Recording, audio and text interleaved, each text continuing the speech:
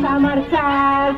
Olele, olala, por nuestros derechos vamos a marchar. Que cumplimos también, aparte de 15 años de la marcha, se cumplen 15 años de la 2302. Eh, Realmente es una herramienta eh, válida, protectora de los derechos de la infancia, pero que necesita, como cualquier herramienta, digamos, de derechos, eh, presupuesto público, política pública para la infancia y que creemos que, bueno, que es, la gran falta que ha tenido eh, durante todos estos años.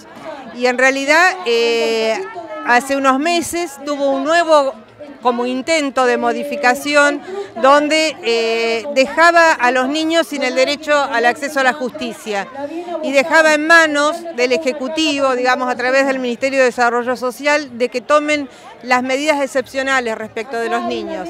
Eh, y los niños tienen derecho a tener un abogado, ¿sí? como tienen ahora todos los niños de la provincia, porque hay defensorías en toda la provincia, y esta nueva modificación de la ley dejaba este, de ser protagónico el, el, rol del niño y el acceso a la justicia, digamos, y el derecho a ser escuchado y de que tenga sus abogados.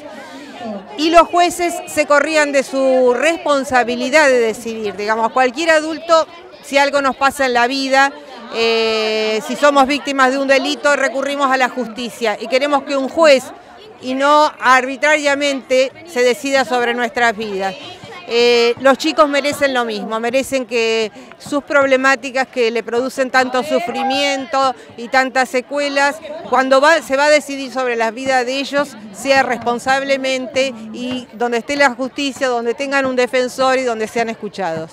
Y porque vemos cada día este, más vulneración respecto a los cuidados de los chicos, digamos, los adultos eh, se desentienden y cada niño necesita de una u otra manera un adulto eh, al lado suyo, digamos, diariamente, viendo sus necesidades, cubriendo sus necesidades y dándoles afecto y amor. Estamos en, en, en una época en que por, distintos problemas, eh, pero también por, por, otras cosas externas como son a veces la adicción de los padres, eh, trabajos de largas jornadas, los chicos están mucho tiempo solos y no se cubren sus necesidades. Entonces eh, el lema es que los miremos, que estemos con ellos, que les demos afecto y, y cubramos sus necesidades. ¿no?